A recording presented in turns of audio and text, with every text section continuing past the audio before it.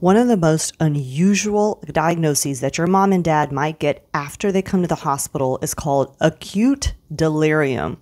This is one of the most frightening and distressing diagnoses for family, for the nurses, and most of all, even the doctor. Delirium is defined as a waxing and waning of consciousness. They don't know where they're at, whether it's night or day, even though the symptoms are worse at night.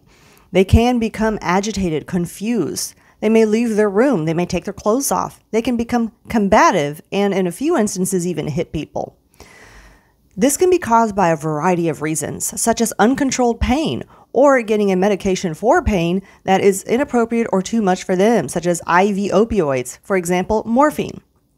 Or they can have an infection, such as a pneumonia or a urinary tract infection. There are easy tests to diagnose those. For males, if they don't empty their bladder completely and they're holding on to urine, that has also been implicated in delirium or mental status changes. Other conditions can include being on sedatives, being on anticholinergics, such as antihistamines, Benadryl. And then one of the most common reasons and factors that are attributed to delirium includes just simply being in the hospital. There's a lot of things that we do to patients when they're hospitalized. We wake them up in the multiple times at night. They're not able to get continued uninterrupted sleep. We strap them in. We put peripheral IVs, often two. They get one in each arm. They're stuck for morning blood draws. We're talking about 4 to 6 a.m. And then they have IV pumps that are giving them fluids or medications that sometimes beep.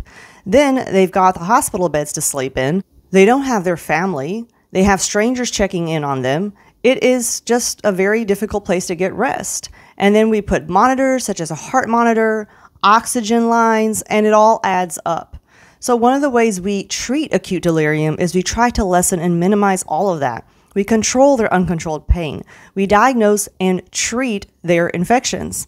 And in rare instances, if none of that works, then we start testing for other things. It is very rare for stroke to be a cause of acute delirium, but it is possible, and I have seen it on a couple occasions. Delirium is very distressing to everybody involved, but with identification, with treatment, and with calming measures, there is a solution for combating it. Follow me if you like this content. I'm here to make the medicine make sense.